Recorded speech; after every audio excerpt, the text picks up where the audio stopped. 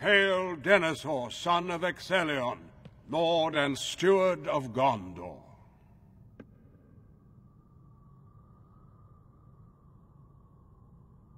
I come with tidings in this dark hour, and with counsel. Perhaps you come to explain this.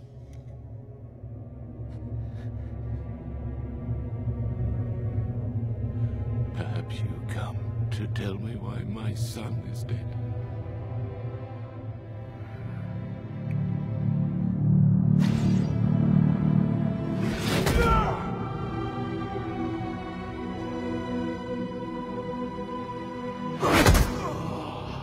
Boromir died to save us. My kinsman and me. He fell defending us from many foes. Pippin,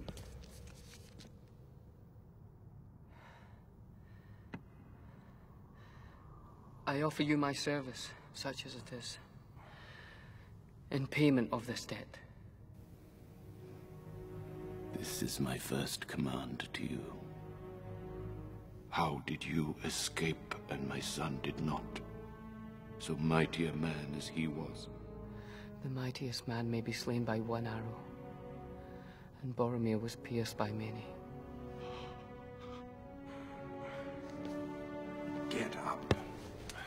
My lord, there will be a time to grieve for Boromir. But it is not now. War is coming. The enemy is on your doorstep. As steward, you are charged with the defense of this city. Where are Gondor's armies? You still have friends. You are not alone in this fight. Send word to Theoden of Rohan. Light the beacons. You think you are wise, Mithrandir. Yet for all your subtleties, you have not wisdom. Do you think the eyes of the White Tower are blind? I have seen more than you know.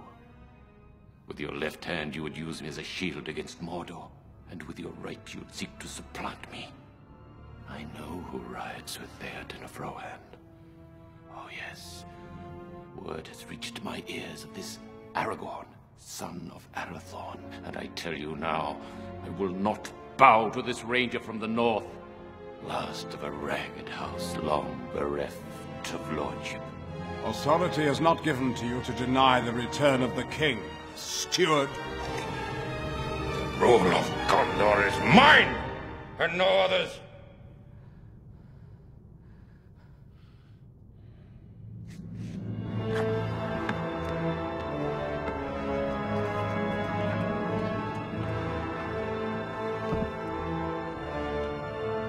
All has turned to vain ambition. He would even use his grief